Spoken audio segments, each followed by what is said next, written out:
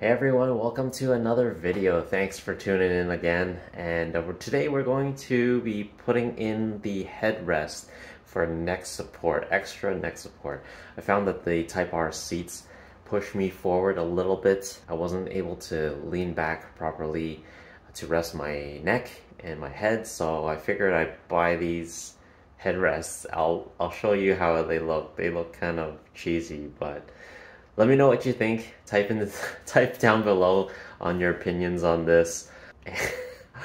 You'll see.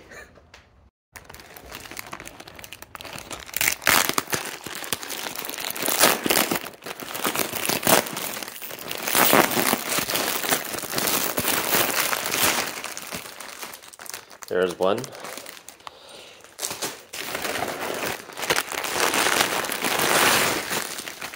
Here's the other. Alright, so these are replica, not even replica, these are just completely fake Bride seat headrests. So, yep, I know what you're thinking. Why is this guy buying fake Bride headrests for his Civic Type R? you know what? I thought uh, it would match the seat it had the logo that uh, I don't know. I think I think it looks pretty cool, but yeah, it's completely fake. Anyways, I think the only other option was either Bride or Recaro, so I just chose Bride. These are cheap. The reason why I picked these is also because it has the clips in the back, so we can go through the seat back holes for the seat belts. So we'll give it a shot, see how it feels. Otherwise, the other ones that I've seen online, they just have a solid strap with no clip in the back. So I had to choose this specific type of headrest. The print, I could have chose any print I wanted, but to get it red and to get the Bride word, it was either this or Recaro. So I chose Bride. Um, we'll see how it looks.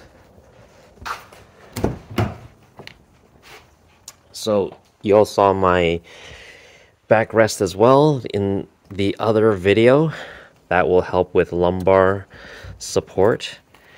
And this would hopefully cover the straps of that seat rest and go right there. And that'll give me a bit more neck support. Slide the straps through. And this one as well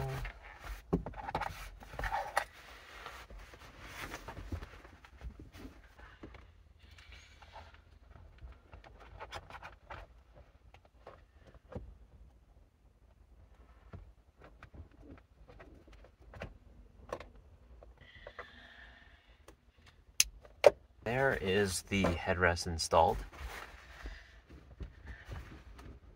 Looks alright. We'll give it a try in the front seat.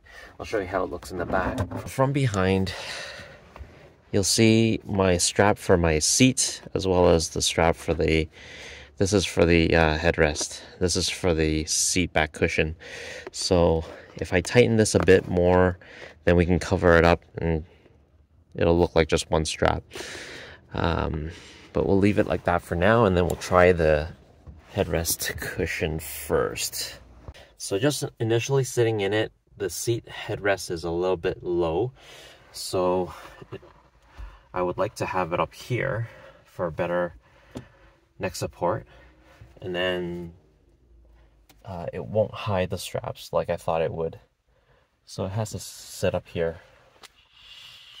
But it looks alright you see the Bride word, you still see the type R embroidery in the headrest. Um, but this is the probably the, the best position. The headrest is a little bit hard itself. It's not as soft as the seat back cushion that I bought or the Type R seats itself, but it will provide some decent neck support now. And I feel that my my neck is not, uh, my head is not being pushed forward anymore. I feel that I can just lean on this headrest and just relax while driving. So I think that this is a good addition. Uh, I bought it because of the, uh, again, the clips for the strap and also for it being red to match the seats. Um, and I think it looks alright. We'll try it out and we'll see how it goes. So I'll install the uh, passenger side as well.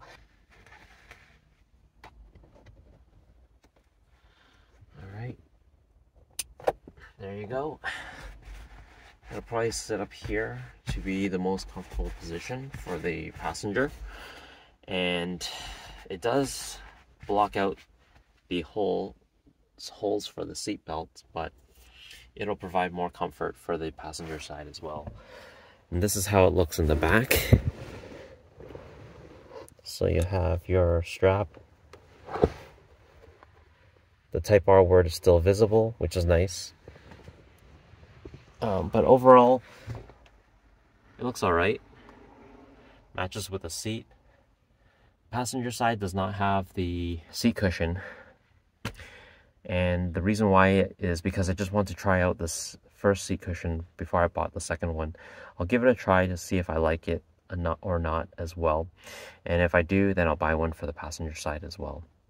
So thank you all for tuning in. I hope you liked the video. We'll see you guys in the next video. Thank you. Don't forget to like, share, subscribe. Take care. Bye now.